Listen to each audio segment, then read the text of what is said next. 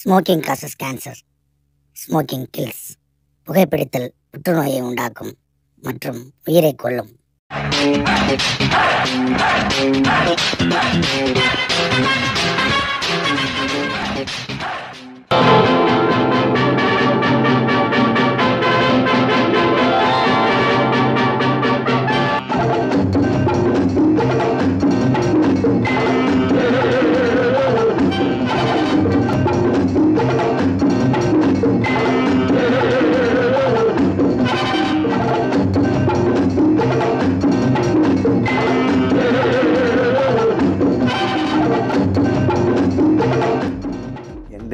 சிவாஜியின் அன்பு நெஞ்சங்கள் அனைவருக்கும் பணிவான வணக்கங்கள். நான் உங்கள் நாகராஜன் வெள்ளியங்கிரி புதிய பறவை. பேரை கேட்டாலே மனசில் ஒரு சிலிர்ப்பும் சந்தோஷம் வருது இல்லையா?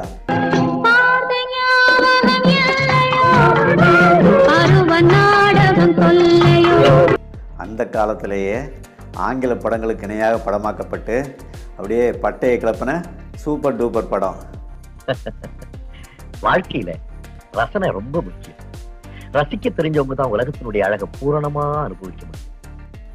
அந்த படம் பார்க்குறப்போ நடந்த ஒரு வித்தியாசமான சம்பவத்தை தான் இந்த பதிவில் நான் உங்களுக்கு சொல்ல போகிறேன் பதிவை ஸ்கிப் பண்ணாமல் இறுதி வரைக்கும் முழுக்க பாருங்கள் அப்போ தான் அந்த சம்பவத்தை நீங்கள் முழுக்க உணர்ந்து ரசிக்க முடியும்.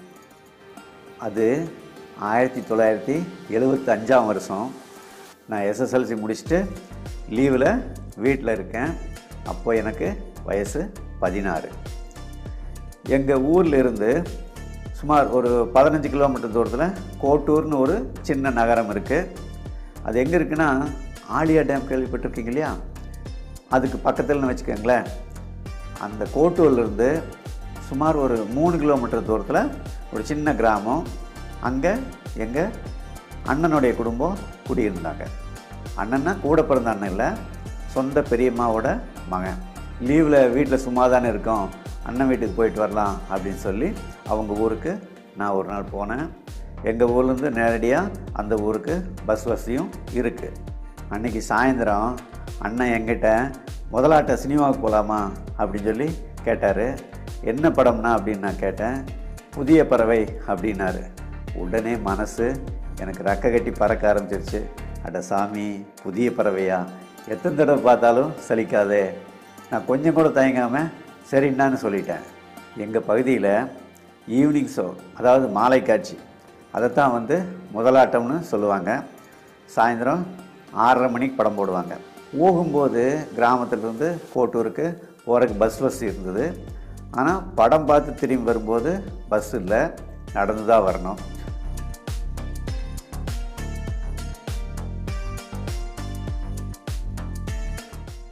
ஈவினிங் ஷோவுக்கு அண்ணனும் நானும் அந்த தியேட்டருக்கு போனோம். பெஞ்ச் டிக்கெட் ரெண்டு வாங்கினார் அண்ணன். படம் பார்த்தோம். இடைவேளையில் முறுக்கு டீ இதெல்லாம் வாங்கி கொடுத்தாரு. இடைவேளைக்கு பின்னாடி தான் படத்தில் பயங்கரமான ட்விஸ்ட் ஆகி நம்ம அப்படியே சஸ்பென்ஸில் மூழ்க வச்சுருப்பேன் அப்படி மும்முரமாக படம் பார்த்துட்டு இருந்தோம். One singer and dancer mister Gopal இடைவேளை முடிஞ்ச பின்னாடி தியேட்டரில் அண்ணன் வந்து பீடி குடிச்சிட்டு இருந்திருக்காரு. அந்த சமயம் போலீஸ் வந்து தியேட்டருக்கு ரைடு வந்திருக்காங்க. தியேட்டரில் பீடி குடிக்கிறது சட்டவிரோதம். பீடி குடித்தவங்க எல்லாத்தையும் பிடிச்சிருக்காங்க ரெண்டு பேர் பிடிச்சிருக்காங்க. என் பக்கத்துலேயே தான் இவர் உட்காந்து பீடி குடிச்சிட்டு வந்திருக்காரு. என்னை தாண்டி தான் பிடிச்சிட்டு போயிருக்காங்க. இது கூட தெரியாமல் நான் அவ்வளோ மும்முரமாக புதிய பறவை படத்தை பார்த்துட்டு வந்திருக்கேன்.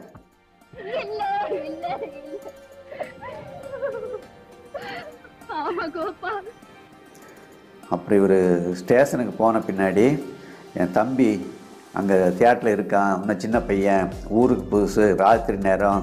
நான் போய் அவனை கூட்டிகிட்டு கண்டிப்பாக ஸ்டேஷனுக்கு வந்துடுவேன் தப்பிச்செல்லாம் போக மாட்டேன் அப்படின்னு சொல்லி கெஞ்சி கூத்தாடி போலீஸ் இன்ஸ்பெக்டர் சொல்லிவிட்டு என்னை கூட்டிகிட்டு வர இங்கே வந்திருக்காரு. கோட்டூர்லேயே போலீஸ் ஸ்டேஷன் இருக்குது போலீஸ் ஸ்டேஷன் போனோம். வாழ்க்கையில் எனக்கு அதுதான் முதல் தடவை நான் ஸ்டேஷனுக்கெல்லாம் போனது. அங்கே போனால் ஏழு எட்டு பேர் தரையில் அப்படியே குத்த வச்சு உட்காந்துருந்தாங்க எல்லாமே இந்த தியேட்டரில் பீடி குடித்த கேஸுக்கு தான்.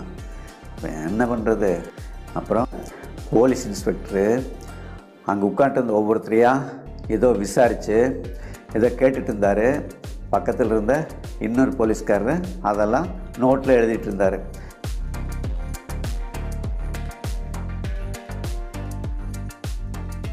எழுதிட்டு ஒவ்வொருத்தரையும் ஸ்டேஷன் விட்டு வெளியே அனுப்பிச்சிட்டு இருந்தாங்க கடைசி அண்ணனோட டேனு அண்ணனை பக்கத்தில் கூப்பிட்டார் இன்ஸ்பெக்டரு எந்திரிச்சு வந்த அண்ணங்கிட்ட எங்கே சுருள் சுருளாக புகவிட்டையே இப்போ விடு பார்ப்போம் அப்படின்னாரு இன்ஸ்பெக்டரு அண்ணன் நெளிஞ்சிட்டே இல்லை சார் இல்லை சார் அப்படின்னு சொல்லி ஏதோ கெஞ்சினார். திரையில் அவர் புகை விட்டுட்டு இருந்தார் நீ அதே மாதிரி சுருள் சுருளை விட்டுட்டு இருந்தியே இப்போ விடு பார்ப்போம் அப்படின்னு சொல்லி மறுபடியும் இன்ஸ்பெக்டர் கேட்டார்.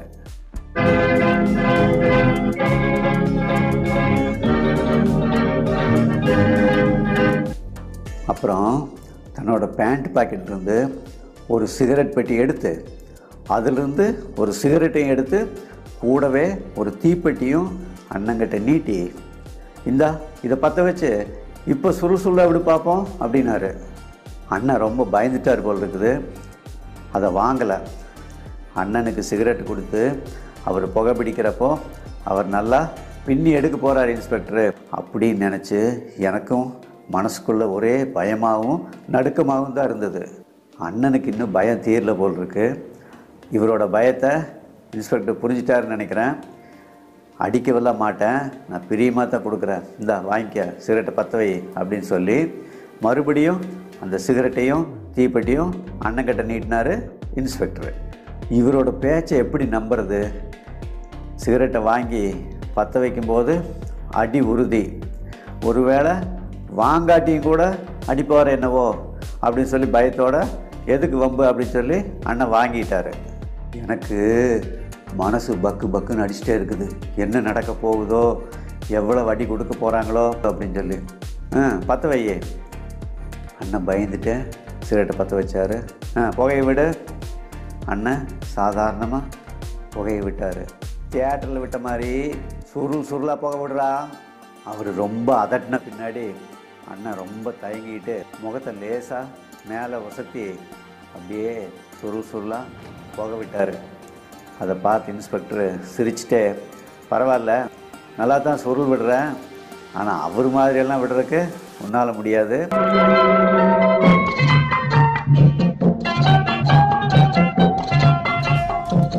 அவர் அவர் தான் அப்படின்னு சொல்லி சிரிச்சிட்டு சொன்ன இன்ஸ்பெக்டரு நான் ஏன் உனக்கு சிகரெட் கொடுத்தேன் தெரியுமா?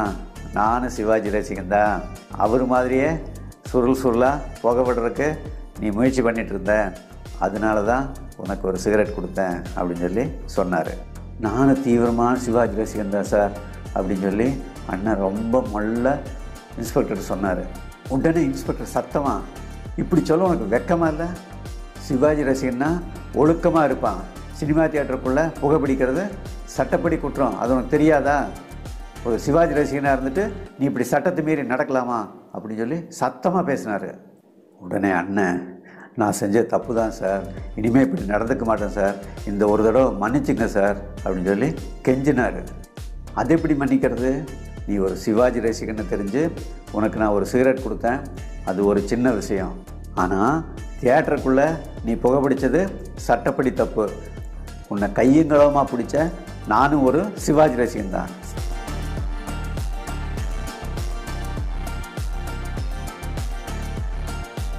சிவாஜி ரசிகன் கடமையை தவறலாமா? உன்னை விட்டுற மாட்டேன். நீ சிவாஜி ரசிகங்கிறக்காகவெல்லாம் உன்னை விட்டுற முடியாது. நீ செஞ்ச தப்புக்கு கட்டாயம் உனக்கு தண்டனை உண்டு.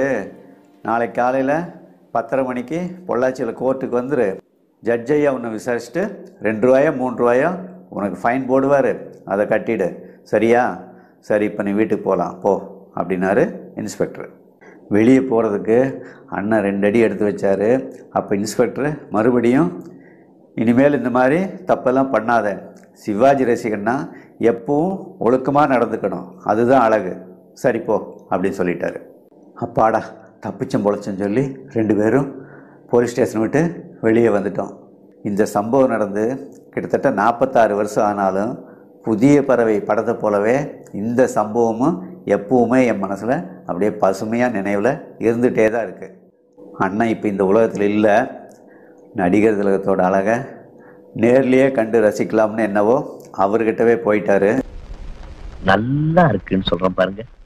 அந்த வார்த்தையே ரசனையிலிருந்து தான் உற்பத்தி ஆகுது நான் சார் தானே